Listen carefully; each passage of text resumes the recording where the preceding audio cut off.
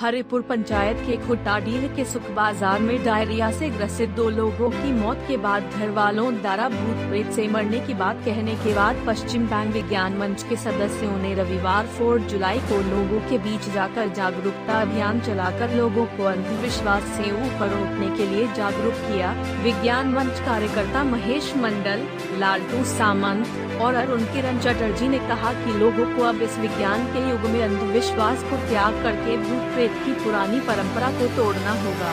इन लोगों में डायरिया का जब लक्षण मिला तो इनको चिकित्सक के पास ले जाने के लिए ज़रूरत थी। अगर समय से चिकित्सक के पास पहुँच जाते तो जान बच सकती थी, लेकिन पुरानी अंधविश्वास के चलते इन लोगों की जान चली गई। इसलिए हम लोगों को अब विज्ञान के युग में आने के साथ पुरानी अंधविश्वास को छोड़ना होगा। इस अवसर पर हरिपुर पंचायत के सदस्य अनिल राम समेत अन्य उपस्थित थे। खबर पांडवेश्वर की रिपोर्ट। इससे तो मेरा भ्रम दूर हुआ ही हुआ कि चलो हो सकता है कि आप लोग केमिकल रिएक्शन दिखा के आग लगाए हैं और पानी में आटा भसा के दिखाए हैं। तो मानते हैं कि हाँ चलो अंधविश्वास है, मेरा तो कहीं ना कहीं दूर हुआ है।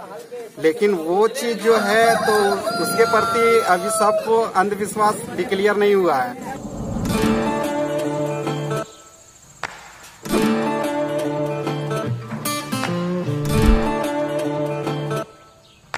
प्रिय ग्राहक, अभी आपके शहर पांडेवेश्वर में खुल चुका है होंडा का नया शोरूम फ्री एसेसरीज प्रत्येक नए बाइक के साथ आसान किस्ती और बाइक एक्सचेंज की भी सुविधा।